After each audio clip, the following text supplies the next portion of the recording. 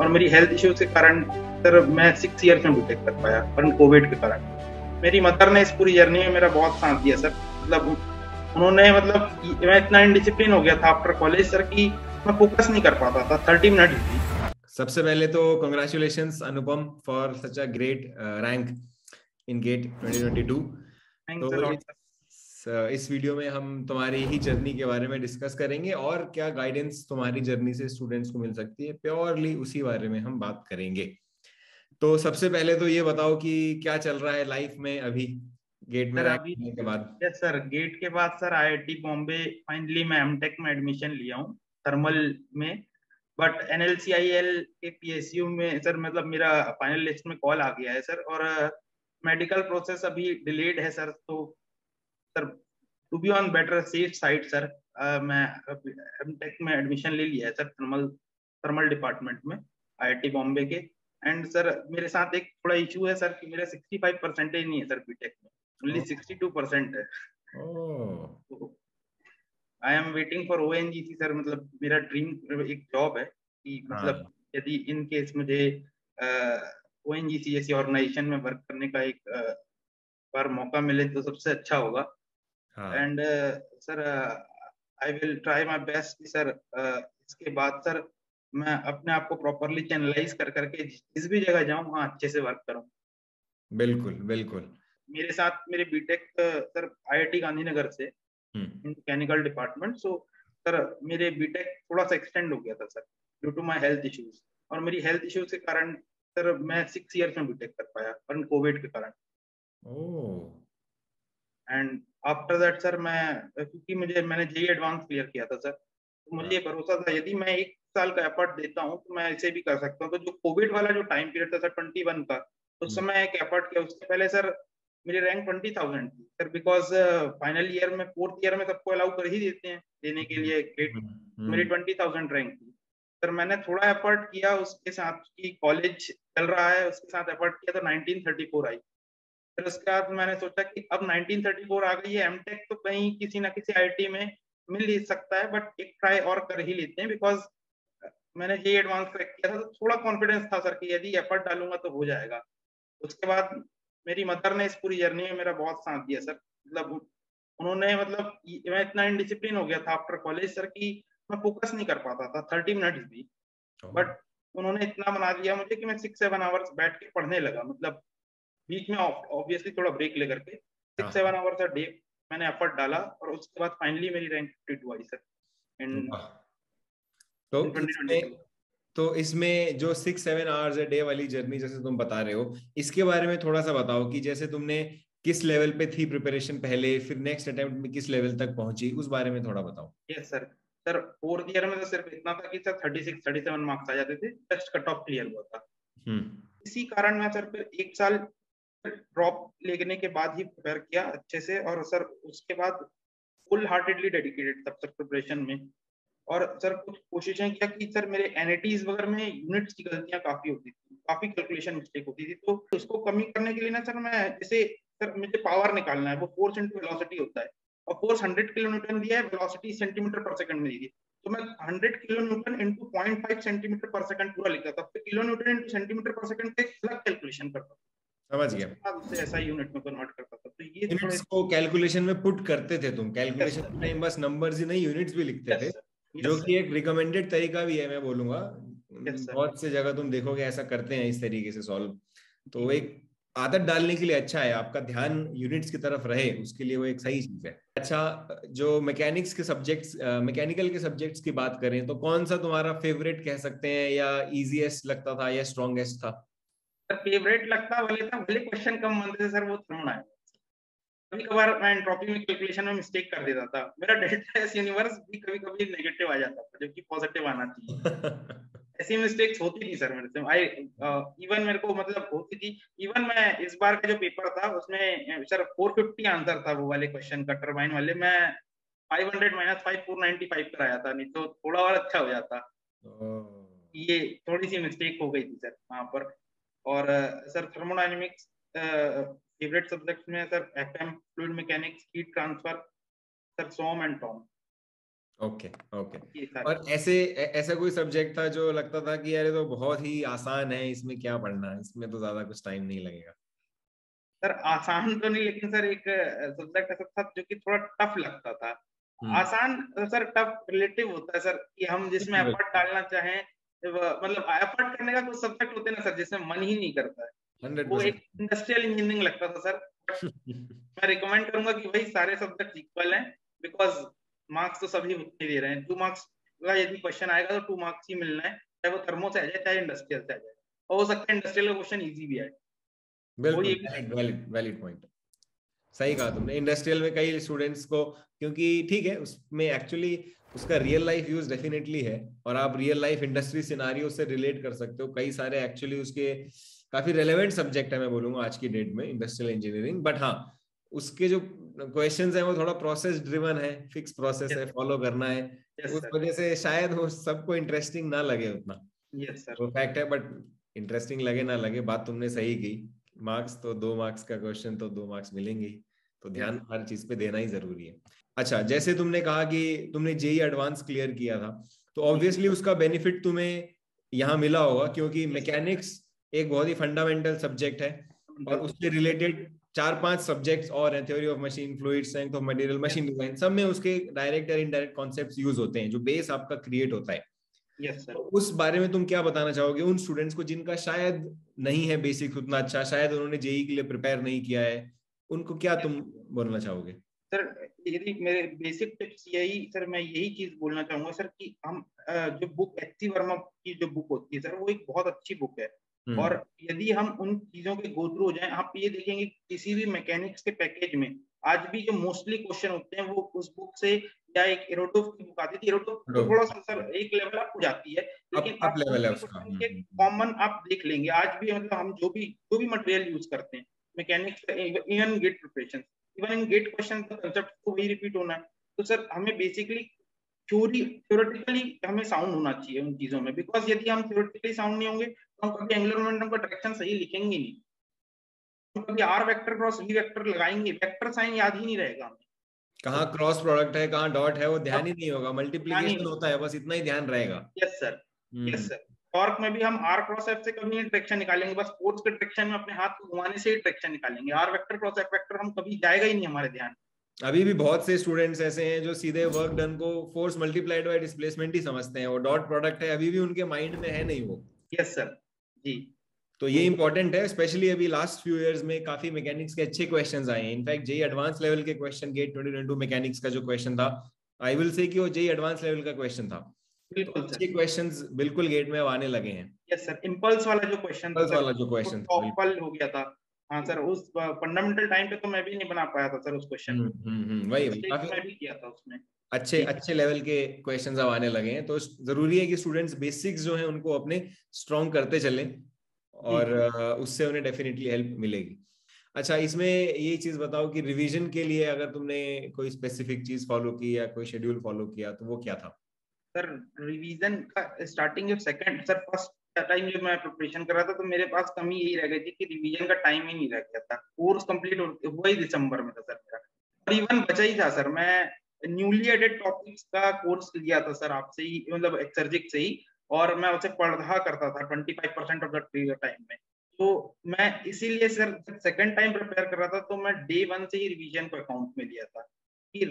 Daily night को एक बार एक घंटा जो फॉर्मूला शीट बनाई है मतलब उन और सर मैं डेरिवेशन पे थोड़ा फोकस करता था कि भाई इस वजह से सर आप मिलिंग कटर वाले क्वेश्चन में देखेंगे कि उसमें जो small D by capital D less than less than one वाला जो एजम्पशन था वो इनवैलिड कर दिया था। तो अब सर जिसने डेरिवेशन पढ़ा होगा वो उसे ही बन पाएगा। क्योंकि आगे का फॉर्मूला तो पता ही नहीं होगा सर प्रॉब्लम हो जाएगी। तो इसी कारण सर मतलब मैं डेरिवेशन करता था थोड़ा बेसिक डेरिवेशन वगैरह करके फॉर्मूला याद करता था तो फॉर्मूला रिमेम्बरिंग ईजी हो जाता है, यदि आप डेरिवेशन करके देखो। तो मैं डेली नाइट को सर जो फॉर्मूला शीट होती थी, उसको ड्राइव करके देखता तो उससे फॉर्मूला रिमेम्बरिंग ईजी हो जाता हाँ। और कई सारे स्टेप्स जो है डेरिवेशन में, वो एक्चुअली काफ़ी हेल्प करते हैं न्यूमेरिकल में। और मैं काफ़ी बेसिक की बात बोलूँगा यहाँ मैं इंटीग्रेशन पे ही आ जाता हूँ। इंटीग्रेशन जैसी बेसिक चीज़ है बट बहुत सारे फॉर्मुले डेरिवेशन में वो अलग अलग तरीके से यूज़ होती है। जी और ऐसे कई न्यूमेरिकल्स होते हैं जहाँ आपको एकदम बेसिक से इंटीग्रेट करना पड़ता है। तो वो करने का नॉलेज और कॉन्फिडेंस आपको तभी आएगा जब आपने देखा है उसको होते हुए बहुत बार कि अच्छा इस तरीके से एलिमेंट लेना है एलिमेंट कैसे चूज़ करना है ये सब चीज़ें क्लियर होती हैं एक्चुअली डेरिवेशन की हेल्प से। तो ये काफ़ी सही बात कही तुमने। अच्छा जो रैंक एक ऐसी चीज़ है जो कि रिलेटिव है ऑब्वियसली और सब लोग नहीं आ सकते top fifty top hundred rank में, वो भी ट्रू है। लेकिन फिर भी क्या ऐसे इनपुट्स या सजेशन या टिप्स तुमको लगता है कि स्टूडेंट्स इंप्लीमेंट कर सकते हैं, जिससे वो अपनी रैंक इंप्रूव करें और बेटर और बेटर होते जाएँ एज एस्पिरेंट यस सर मैं आज बोल रहा हूँ, लेकिन मैं भी इसे पूरा फॉलो नहीं कर पाता था। सर रैंक उस आदमी की अच्छी आती है जो रैंक सबसे कम ध्यान देता है। रैंक क्या? दोबारा दोबारा बोलो। रैंक उस आदमी की सबसे अच्छी आती है जो टेस्ट सीरीज़ की रैंक में सबसे कम ध्यान देता है और उनसे तो, सीखने के ऊपर फोकस करता है। और सर टेस्ट सीरीज़ की रैंक मुझे भी काफ़ी अफेक्ट की है अपने प्रिपरेशन में। मैंने आपको बताया कि मैं सबमिट करके सॉल्व करना चालू कर दिया था। पेपर को सीधा सबमिट कर देता था पहले सॉल्व करता था। बट सर टेस्ट सीरीज़ की रैंक पे एट द एंड में सर मेरा फोकस कम हो गया था। और मैं ये कहूँगा कि सर, आपकी एक लाइन है सर, आपने किसी एक वीडियो में कहा था कि जिस नेचर ने हमें यहाँ तक लाया है, हमें हमें बनाया है, हमने, हम, हमने कई चीज़ें ऐसी पाई हैं जिसके लिए हमने मेहनत भी नहीं की। तो जब हम शिद्दत से मेहनत कर रहे हैं तो हमें कहीं ना कहीं एक अच्छा रिज़ल्ट मिलेगा, पॉजिटिव इंटेंट के साथ हमें प्रिपरेशन करनी चाहिए। तो सर, उस चीज़ को हमें फोकस रखना चाहिए और sir, daily short note revise कर लेने चाहिए। डेरिवेशन पे फोकस थोड़ा सा रखना चाहिए, बिकॉज़ पेपर इस बार का सर थोड़ा टफ था, मुझे लगा सर। राइट राइट कि मेरे 75.31 मार्क्स में सर मेरी रैंक 52 है। तो मैं उससे समझ पा रहा हूँ कि पहले 52 शायद 93 94 मार्क्स पे आती है 90 मार्क्स प्लस में आती है। तो इसलिए सर डेरिवेशन पे फोकस ज़रूर रखना चाहिए सर और यूनिट्स का ख्याल करके सर कैलकुलेशन करना चाहिए। ये दो तीन चीज़ें सर और माइंडसेट स्ट्रांग होना चाहिए सर जब हम प्रिपेयर कर रहे हो। सही बात है माइंडसेट स्ट्रांग होना ज़रूरी है क्योंकि जब भी टाइम थोड़ा थोड़ा सा टफ हो सकता है जिस भी वजह से शायद मार्क्स नहीं आ रहे हैं या कुछ और वजह है तो फिर आपका माइंडसेट ही आपको उसके उससे निकाल के आगे लेके जाता है। वरना आप उस लूप में फंस जाओगे सेल्फ डाउट के लूप में जो फंस जाएगा वो फिर मुश्किल है कि वो परफॉर्म अच्छा कर पाए। यस सर तो एक सही माइंडसेट होना सही बात है काफ़ी ज़रूरी है।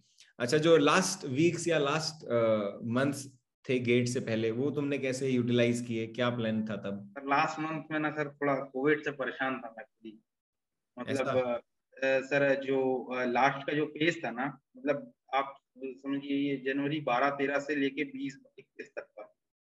मैं थोड़ा सर कोविड से परेशान था बट मैं उस समय सर टेस्ट फुल लेंथ दिया करता था सर। फुल लेंथ टेस्ट दिया करता था रिवाइज किया करता था। उस समय सर मैं कुछ नया पढ़ना छोड़ दिया था।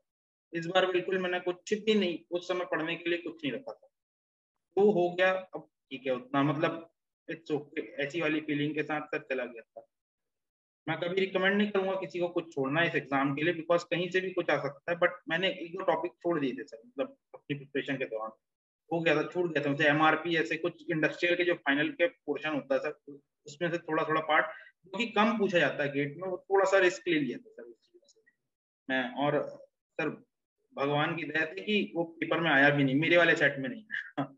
तो और सर बस इतना ही फोकस रखा था सर और टेस्ट सीरीज़ रोज देता था रिवाइज करता था और मिस्टेक्स को काउंट करता था। मिस्टेक्स कम करने की कोशिश करता था। टेस्ट सीरीज़ में नंबर भी वेराई हुए सर 62 मार्क्स भी आया कभी 85 मार्क्स भी आया कभी 51 भी आया तो ऐसे वेरी भी हुए तो मैं इस बार इतना चिंता नहीं किया। मतलब जो होना है तो होएगा और सही बात है क्योंकि टेस्ट जो है अलग अलग लेवल का है कोई टेस्ट हायर लेवल कोई लोअर लेवल अलग अलग इंस्टीट्यूट अलग अलग टाइप ऑफ़ टेस्ट बहुत सारी चीज़ों पे वो डिपेंड करता है। तो कभी भी ये अनरियल एक्सपेक्टेशन नहीं रखनी चाहिए कि मेरे मार्क्स तो ऐसे जाएँगे ऊपर महँगाई की तरह। ऐसा नहीं होगा। यस सर वो ऊपर नीचे होता ही रहेगा। यस सर तो काफ़ी सही लगा तुमसे डिस्कस करके। इसमें और अगर ऐसी कुछ टिप्स तुम्हारे माइंड में आए स्पेसिफिकली मैकेनिकल इंजीनियरिंग रिलेटेड या सब्जेक्ट रिलेटेड कि इस सब्जेक्ट से आप इस तरीके से डील करो या इस तरीके से नहीं डील करो ऐसी कोई टिप्स माइंड में है तो डेफिनेटली वो शेयर करो। सर जैसे सर प्रोडक्शन एक सब्जेक्ट है सर वो बहुत हैवी सब्जेक्ट है। सर मैं उससे भी रिकमेंड करूँगा कि आप डे यदि आपने बेसिक्स अपने कॉलेज में कवर अप कर रखे हैं या एक आध साल तैयारी कर रखा है और दूसरे बार तैयारी कर रहा है तो आप उसे डे वन से इंक्लूड करें। आप वो ऐसा सब्जेक्ट है सर जिसको, जो इतना हैवी वेटेज का है और इतने हैवी फॉर्मुलेज हैं सर उसमें तो इतनी सारी चीज़ें हैं सर उसे आप भले चार महीना पढ़ना पड़े, लेकिन आप डे वन से पढ़ें, चार महीना पढ़ें और फिर बाकी टाइम उसके लिए रिवीजन का स्लॉट में एक जगह रहनी चाहिए जहाँ आप डेली कुछ ना कुछ उसके बारे में या तो एडप्ट करेंगे अपने शॉर्ट नोट्स में या तो कुछ ना कुछ उसमें से रिवाइज करेंगे, कुछ डेरिवेशन हैं तो बेसिक डेरिवेशन करेंगे। ये सर मैथमेटिक्स एंड एप्टीट्यूड पे सर बहुत अच्छा फोकस रखिए, क्योंकि मैथमेटिक्स एंड एप्टीट्यूड 28 मार्क्स बनाते हैं। जिसमें मैं भी 26 आया था सर एक क्वेश्चन में से मिस्टेक हो गई थी। मैं 26 मार्क्स लेके आया था, लेकिन मैथ्स एंड एप्टीट्यूड का साथ कभी नहीं छोड़ना चाहिए सर क्योंकि maths and aptitude rank boost करती है हमारी। और सर टेक्निकल सब्जेक्ट में सर जैसे सॉम टॉम और एफ़ है थर्मो है, ये टेक्निकल सब्जेक्ट्स हैं। इनका सर न्यूमेरिकल प्रैक्टिस पे फोकस होना चाहिए, साथ में कंसेप्चुअल क्लियरिटी भी बहुत ज़रूरी है इन सब्जेक्ट्स में। आप मैन्युफैक्चरिंग में तो ऐसा चला देंगे काम कि भाई चलो न्यूमेरिकल बन जा रहे हैं तो बस दो या तीन नंबर की थ्योरी आएगी उससे, और दो या तीन नंबर की थ्योरी हम धीरे धीरे साल भर में पढ़ते पढ़ते कवर कर जाएँगे। और थर्मोडाइनमिक्स में सर जो न्यूमेरिकल आएगा, यदि आपने बेसिक्स क्लियर नहीं है तो ये सब, ये कभी नहीं बन पाएगा। तो इसलिए इन सब्जेक्ट्स की न्यूमेरिकल प्रैक्टिस बहुत हैंडी होनी चाहिए सर और मैथमेटिक्स एंड एप्टीट्यूड की टेस्ट यदि आपने उसे शुरुआत में कवर कर लिया है बिकॉज़ मैथमेटिक्स हर सब्जेक्ट में लगने वाला है तो मैथमेटिक्स एंड एप्टीट्यूड की टेस्ट सीरीज़ डे डे मतलब सर जो शुरुआत जैसे ही आपको खत्म होता है, आप हर एक वीक में एक टेस्ट सीरीज़ देते जाइए, एक बार मैथ्स के फॉर्मूले से गो थ्रू होते जाइए बिकॉज़ मैथ्स के फॉर्मूले रिवाइज करने में मेरे ख्याल से थ्री टू फोर आवर से ज़्यादा नहीं लगता तो आप संडे को एक दिन मैथ एप्टीट्यूड के लिए रख सकते हैं जो कि आपको बहुत अच्छे नंबर स्कोर करके देगा। और सर एक ये और सर भले कई सब्जेक्ट ऐसे होते हैं सर जो कम नंबर के आते हैं जैसे टर्बो मशीन से टर्बो मशीन से सर शायद दो नंबर का एक क्वेश्चन आ जाए मैक्स टू मैक्स ये होता है या तो कभी नहीं भी आएगा बिल्कुल। तो सर टर्बो मशीन जैसे सब्जेक्ट को भी सर फोकस करना है बट क्या होता है सर टर्बो मशीन बनता कम है और हमें बनाने की मन ज़्यादा करता है। तो इसलिए उसे फोकस उतना ही करना है जितने नंबर का वो आ सकता है। तो इन सब सब्जेक्ट्स में इशू ये है। इशू भी मैं नहीं कहूँगा कि कई सारे इनके क्वेश्चंस तो ऐसे हैं जो इम्पैक्ट ऑफ़ जेट के ही कॉन्सेप्ट से सॉल्व हो जाते हैं। कई सारे गेट में तुम देखोगे कि दिखने में लगेगा इवन दो क्वेश्चन दिख गए बट दोनों में बस इम्पैक्ट ऑफ़ जेट का ही फॉर्मूला इंपल्स मोमेंटम इक्वेशन ही अप्लाई हुई है। अलग से कोई कॉन्सेप्ट टर्बो मशीनरी का नहीं लगा है। ऐसे भी क्वेश्चन दिखते हैं। बट हाँ इन क्वेश्चन की ऐसे वेराइटी है वो है ठीक ठीक वेराइटी के हैं। तो स्टूडेंट कैरी अवे हो जाते हैं और कभी कभी बहुत अनप्रोपोर्शनेटली वो डिवाइड कर देते हैं टाइम को यस सर के बीच में। अननेसेसरी चीज़ों को चेज भी नहीं करना है हमें प्रिपरेशन में मतलब बहुत टू द पॉइंट रहना है। मतलब जैसे एक्चुअल फ्लो कंप्रेशर पढ़ रहा है कोई। गेट की पॉइंट ऑफ़ यदि वो सिर्फ़ गेट की तैयारी कर रहा है और बाकी एग्जामों की नहीं कर रहा है तो मेरे ख्याल से वो वेस्ट ऑफ़ टाइम हो जाएगा सर। सही बात है। इंजन इंजन पढ़ने लगा तो वो भी वेस्ट ऑफ़ टाइम हो जाएगा। तो इसलिए ये को बहुत मतलब फोकस क्योंकि ऐसा हो सकता है सर कि टेस्ट सीरीज़ में क्वेश्चन दिख जाए। एक आध दो क्वेश्चन ऐसे दिखेंगे जो कि आपके स्कोप से ही ऐसा रहेगा कि इवन सर मैं भी बता रहा हूँ कि मेरे को भी ऐसे दिखते थे जो कि मैंने कभी पढ़ा ही। नहीं हम्म। लेकिन उन्हें इग्नोर करना ही बहुत अच्छा रहेगा क्योंकि वो असलियत में टाइम वेस्ट कर देगा आपका। सही बात है। आपको सिग्नल और नॉइस उसमें डिफरेंस पता होना चाहिए। यस सर क्या मिस्टेक टेस्ट सीरीज़ की एक सिग्नल है कि आपको इम्प्रूव करना है?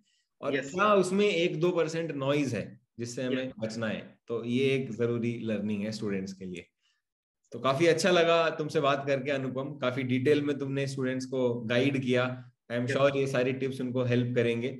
और आगे भी हम डिस्कशन करते रहेंगे। जैसे जैसे और टाइम पास आएगा गेट का होपफुली सही गाइडेंस स्टूडेंट्स को मिलती रहेगी। Yes, तो आपको भी ऑल दी बेस्ट आगे के लिए जो भी आपके फ्यूचर करियर एस्पिरेशंस हैं वो फुलफिल हो और ओवरऑल बेस्ट विशेस मेरे साइड से। Thanks a lot sir okay okay Anupam take care bye bye